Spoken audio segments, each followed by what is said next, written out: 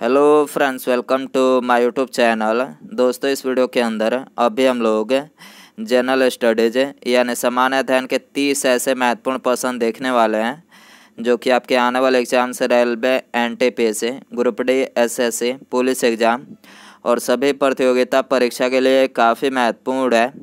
तो दोस्तों video start करने से पहले मैं आपसे रिक्वेस्ट करता हूँ कि आप इस चैनल को सब्सक्राइब करें, जो पास वाले घंटे का निशान है, उसे भी ऑन कर दें।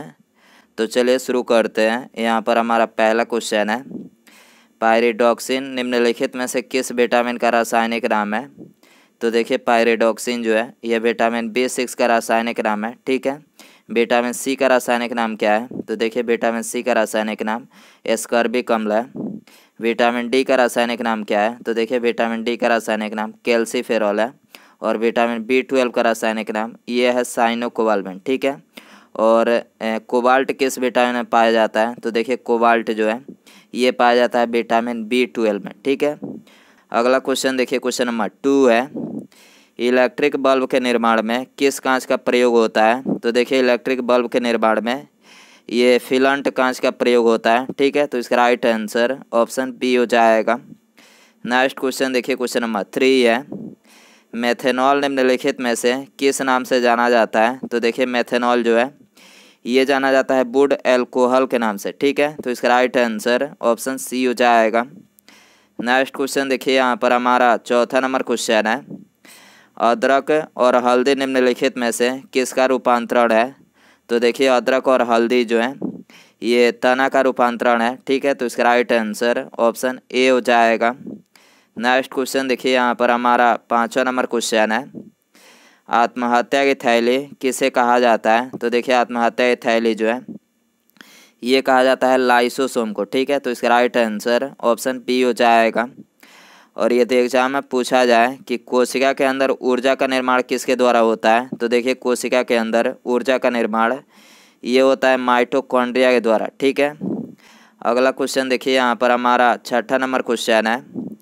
एक मोल बराबर कितना होता है? तो देखिए, एक मोल बराबर ये होता है six point zero two two into ten के पावर तेईस के बराबर होता है, ठीक है? तो इसका राइट आंसर ऑप्शन डी हो जाएगा। नेक्स्ट क्वेश्चन देखिए, यहाँ पर हमारा सातवां नंबर क्वेश्चन है। हवाई जहाज़ से यात्रा करते समय पेन से स्याही निकलने लगती है, इसका क्या कारण है? तो देखिए, इसका जो कारण है, वो है वायुदाब में कमी के कारण, ठीक है? वायुदाब में कमी के कारण जो है हवाई जहाज़ से यात्रा करते समय पेन से स्याही जो है बाहर निकलने लगती है, ठीक है? तो इसका राइट आंसर ऑप्शन बी हो जाएगा। नेक्स्ट क्वेश्चन देखिए यहाँ पर हमारा आठवां नंबर क्वेश्चन है। एक बार बराबर कितना होता है? तो देखिए एक बार बराबर ये होता है दस के पावर फाइव पास्कल कितना होता है? दस के पावर फाइव पास्कल जो है ये एक बार बराबर होता है, ठीक है? तो इसका राइट आंसर ऑप्शन सी हो जाएगा। नेक्स्ट क्वेश्चन देखिए यहाँ पर हमारा नाइन्थ नंबर क्वेश्चन है। आग बुझाने वाली गैस निम्नलिखित में से कौन सी है? तो देखिए, आग बुझाने वाली जो गैस है, वो है कार्बन डाइऑक्साइड ठीक है? तो इसका राइट आंसर ऑप्शन ए हो जाएगा।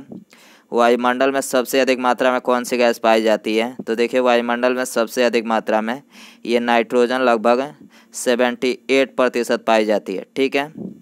अगला क्वेश्चन देखिए क्वेश्चन नंबर दस है। तेज़ हवा वाली रात्रि में ओस नहीं बनती है। इसका क्या कारण है? तो देखिए, इसका जो कारण है, वो है वाष्पीकरण की दर जो है तेज़ होती है, जिसके कारण तेज़ हवा वाली रात्रि में ओस जो है नहीं बनती है। ठीक है तो इसका राइट आंसर ऑप्शन सी हो जाएगा। नेक्स्ट क्वेश्चन देखिए, यहाँ पर हमारा ग्यारहवा नंबर क्वेश्चन है।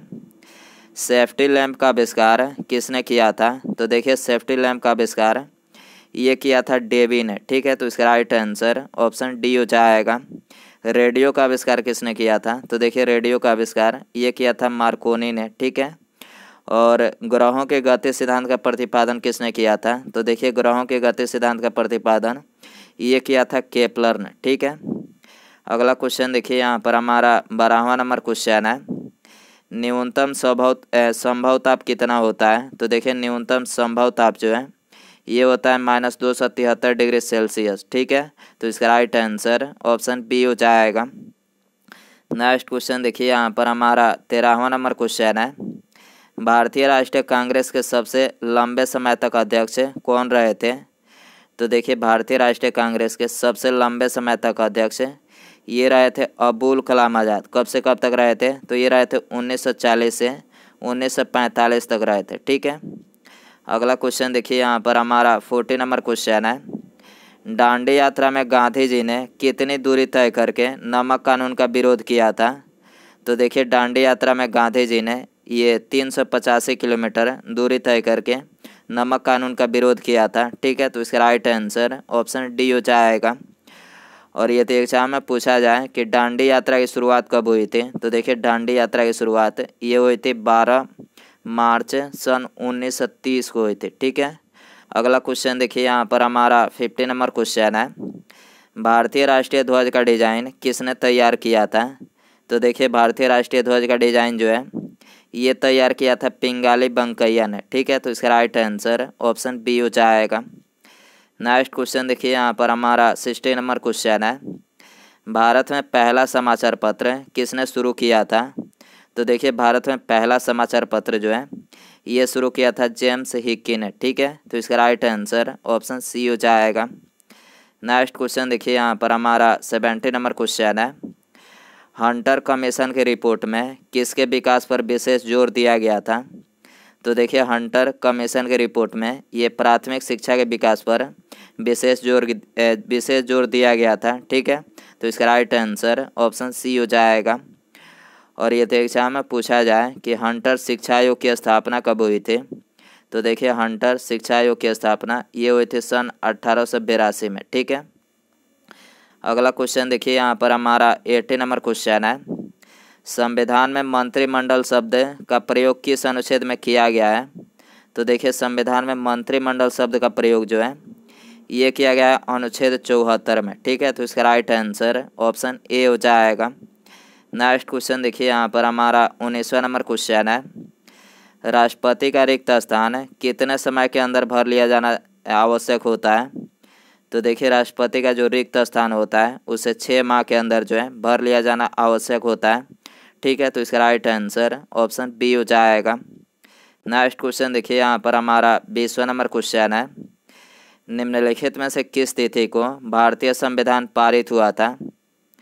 तो देखिए, भारतीय संविधान जो है, ये 26 नवंबर उन्नीस सौ उनचास को पारित हुआ था, ठीक है? और 26 जनवरी 1950 को लागू हुआ था। तो यहाँ पर करेक्ट आंसर ऑप्शन बी हो जाएगा। अगला क्वेश्चन देखिए, यहाँ पर हमारा इक्कीसवा नंबर क्वेश्चन है। निम्नलिखित में से कौन सा आगन्य सेल है? तो बताइए, इनमें कौन जो है, ये एक आगन्य सेल है? तो देखिए यह है ग्रेनाइट। ग्रेनाइट क्या है? ये एक आगन्य सेल है, ठीक है? तो इसका राइट आंसर ऑप्शन ए हो जाएगा। नेक्स्ट क्वेश्चन देखिए, यहाँ पर हमारा बाईसवा नंबर क्वेश्चन है। राज्यसभा के सदस्यों की न्यूनतम आयु कितनी होती है? तो देखिए, राज्यसभा सदस्यों की जो न्यूनतम आयु होती है, वो होती है तीस वर्ष, ठीक है? और लोकसभा के सदस्यों की न्यूनतम आयु कितनी होती है तो ये होती है पच्चीस वर्ष, ठीक है? अगला क्वेश्चन देखिए, यहाँ पर हमारा तेईसवा नंबर क्वेश्चन है। दक्षिण भारत की सबसे लंबी नदी कौन सी है? तो देखिए, दक्षिण भारत की जो सबसे लंबी नदी है, वो है गोदावरी नदी, ठीक है? गोदावरी नदी की कुल लंबाई कितनी है? तो देखिए, गोदावरी नदी की कुल लंबाई, ये है चौदह सौ पैंसठ किलोमीटर जो है, गोदावरी नदी की कुल लंबाई है, ठीक है? अगला क्वेश्चन देखिए, यहाँ पर हमारा ट्वेंटी फोर नंबर क्वेश्चन है। कोलेरू झील निम्नलिखित में से किस राज्य में स्थित है? तो देखिए कोलेरू झील जो है, ये स्थित है आंध्र प्रदेश राज्य में, ठीक है? तो इसका राइट आंसर ऑप्शन बी हो जाएगा। नेक्स्ट क्वेश्चन देखिए, यहाँ पर हमारा पच्चीसवा नंबर क्वेश्चन है। बांदीपुर प्रोजेक्ट टाइगर रिज़र्व किस राज्य में स्थित है?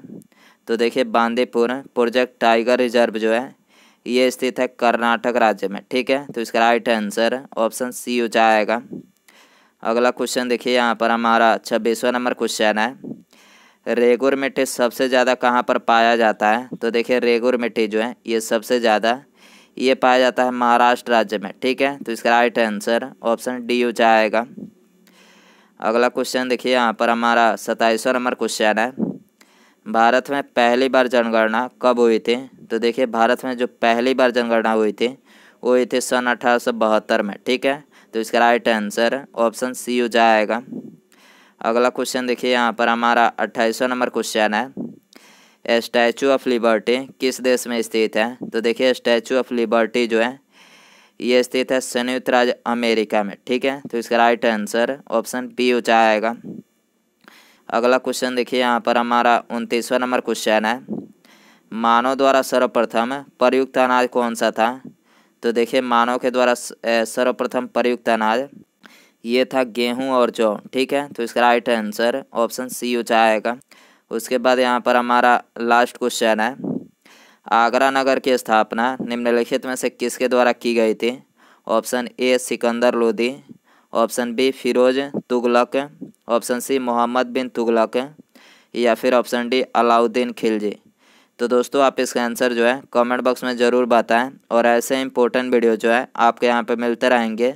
आप बस वीडियो को लाइक कर दिया करें। चैनल पर ना है तो चैनल को क्या करना है? चैनल को सब्सक्राइब करना है और पास वाले जो घंटे का निशान है, उसे भी ऑन कर दें। ठीक है? Thanks for watching.